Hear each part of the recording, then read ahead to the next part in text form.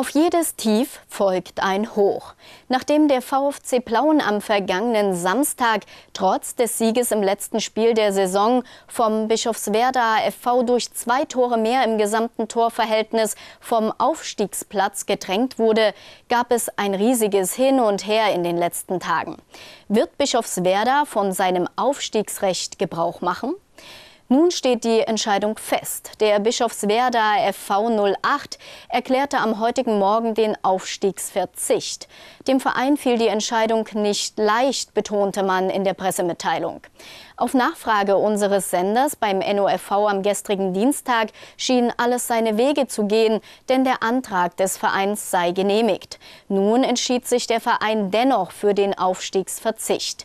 Dem Bischofswerda FV sei es neben der sehr erfolgreichen sportlichen Entwicklung nicht gelungen, die wirtschaftlichen und zusammen mit der Stadt Bischofswerda die infrastrukturellen Voraussetzungen für eine nachhaltige Rückkehr in die Regionalliga Nordost realisieren zu können.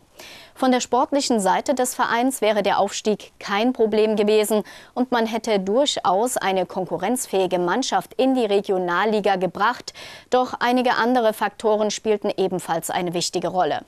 Die regelmäßige Nutzung bzw. freie Verfügbarkeit der einzig möglichen Regionalligaspielstätte, dem Wesenitz Sportpark beispielsweise, sei aufgrund der Mehrfachnutzung des Stadions durch weitere Vereine der Stadt Bischofswerda nicht gewährleistet.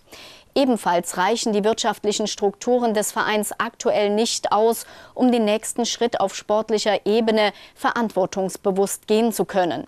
Fakt ist laut dem Verein, dass das Wohl des gesamten Vereines über dem jeder einzelnen Mannschaft stehe. Somit kann der VfC Plauen nun aufatmen und die Entscheidung über den Aufstieg in die Regionalliga Nordost selbst treffen.